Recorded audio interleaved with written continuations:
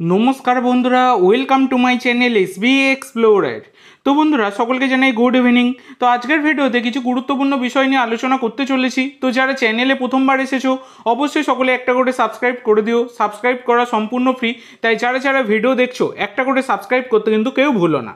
তো বন্ধুরা প্রথমে যে আপডেটটা দিয়ে শুরু করতে চলেছি, সেটা হচ্ছে মোহনবাগানের প্র্যাকটিস কিন্তু আজ থেকে শুরু হয়ে গেছে এবং আজকের প্র্যাকটিসে ম্যাক্সিমাম প্লেয়ারই যোগ দিয়েছে। তোমাদেরকে আজকে সকালের ভিডিওতেই আমি জানিয়ে দিয়েছি এবং সেখানে কিন্তু আপুইয়াও যোগ দিয়েছে। আপুইয়া এবছরে মোহনবাগান যে সমস্ত সাইনিংগুলো করেছে তার মধ্যে ভারতীয়দের মধ্যে সবথেকে অন্যতম প্রধান সাইন হচ্ছে এই আপুইয়া।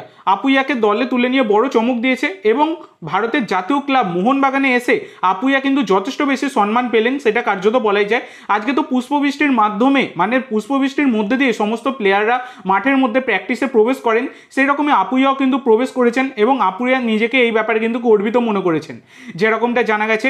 এবং এটা অবশ্যই কিন্তু তার জন্য একটা বড় সুখবর, সেটা কার্যত বলাই যায়। এবং তোমরা অনেকেই প্রশ্ন করছিলে যে দাদা সাহাল কোথায়? তো সাহাল প্র্যাকটিসে কিন্তু এসেছে। তিনি কিন্তু প্র্যাকটিসও করেছেন এবং একটা ছবিও আমি তোমাদেরকে দেখিয়ে দিচ্ছি। জাস্ট আবঝা আছে, তোমাদেরকে তবুও দেখিয়ে দিলাম। সাহাল কিন্তু এসেছে তাকে নিয়ে চিন্তা করার কারণে অনেক জায়গা থেকেই তোমরা জিজ্ঞাসা করছিলে যে সাহাল, তিনি কি আসেননি নাকি তাকে দেখতে পাচ্ছি না? তো যারা মাঠে গিয়েছিলে তারা অবভিয়াসলি দেখতে পেয়েছ। যারা ঘরে বসে দেখেছ সেই কারণে দেখতে পাওনি, আমি তোমাদেরকে দেখিয়ে দিলাম। সাহাল কিন্তু এসেছে। আর থাপার ব্যাপারে অনেকে কোশ্চেন করছিলে, তো থাপা নাকি আজকে অনুশীলনে আসেননি মানে তিনি নাকি মোহনবাগান ছেড়েছেন? এই সব প্রচুর আলতু ফালতু কথা চারিদিক থেকে বলা হচ্ছে। আমি এর আগেই তোমাদেরকে জানিয়েছি, থাপা বলো, লিস্টন বলো, এদের ব্যাপারে কোনো রকম মানে দল ছাড়ার কোনো রকম খবর নেই। যারা জানো, তাদেরকে আমি অবশ্যই আমি সকলকেই জানিয়েছি। যারা কমেন্ট করতে আমাকে, আমি এই ব্যাপারে কোনোদিন কোনো ভিডিও বানাইনি। আর বানাতামও না, বানানোর ইচ্ছাও নেই, কারণ এই জিনিসগুলো পুরোপুরি বেসলেস এটাই হচ্ছে ব্যাপার। যাদেরকে আমি জানিয়েছিলাম কমেন্টে তারা অবশ্যই একবার রিপ্লাই দিয়ে জানিও যে হ্যাঁ আমি সত্যি কথা বলেছিলাম কি বলিনি? যে, থাপা আর লিস্টনের ব্যাপারে কোনো রকম এরকম খবর নেই। আর লিস্টন তো আজকে যোগ দিয়েছেনই প্র্যাকটিসে আর থাপা তার যা সম্ভাবনা আগামীকাল তিনি হয়তো সম্ভবত যোগ দিচ্ছেন এই রকম ব্যাপার এবং থাপা তার সোশ্যাল মিডিয়ায় মোহনবাগানের যে মানে মোহনবাগান ডে, সেইটাকে তিনি তার শেয়ারও করেছেন তার সোশ্যাল মিডিয়ায়। তো সব কিছু মিলিয়ে ঝুলিয়ে দেখতে গেলে থাপা কিন্তু মোহনবাগানেই থাকছেন। তিনি একটু ঘুরতে গিয়েছিলেন, সেই কারণে তার একটু আসতে দেরি হচ্ছে। সম্ভবত আগামীকাল তিনি মোহনবাগান টিমে যোগ দেবেন যেরকমটা জানা যাচ্ছে।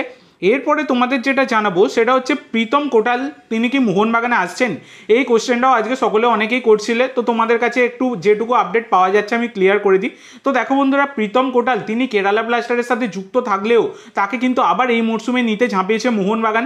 তার সাথে কিন্তু একটা সোয়াব ডিল হওয়ারও সম্ভাবনা রয়েছে। কেরালা কিন্তু সোয়াব ডিল করতে চাইছে প্লেয়ার চাইছে মোহনবাগানের থেকে। আর প্রীতম পার্সোনাল মানে প্রীতমের ফ্যামিলিও চাইছে যে তিনি আবার কলকাতায় খেলুক। কারণ প্রীতমের বাবার একটু শারীরিক কন্ডিশন খুব একটা ভালো নয়, অসুস্থতায় ভুগছেন।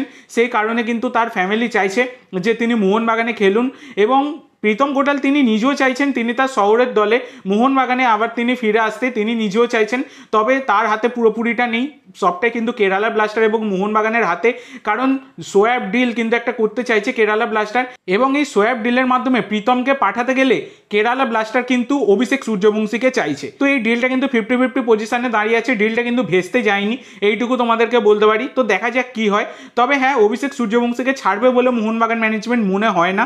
তো দেখা যাক ট্রান্সফার মার্কেটে যা কিছুই হতে পারে, তো পরবর্তীকালে কোনো রকম কনফার্মেশন পেলে তোমাদের জানাব। তবে প্রীতমের যে ডিল এটা কিন্তু ভেস্তে যায়নি। ডিলটা কিন্তু এখনও অবধি ঠিকঠাক পর্যায়ে রয়েছে। তো দেখা যাক কী হয়। তো আজকের জন্য এইটুকু বন্ধুরা। ভিডিওটি ভালো লাগলে অবশ্যই লাইক করো শেয়ার করো। আমার চ্যানেলে প্রথমবার এসে থাকলে চ্যানেলটি সাবস্ক্রাইব করো। আর কমেন্ট করে জানাও ভিডিওটি কেমন লাগল। ধন্যবাদ।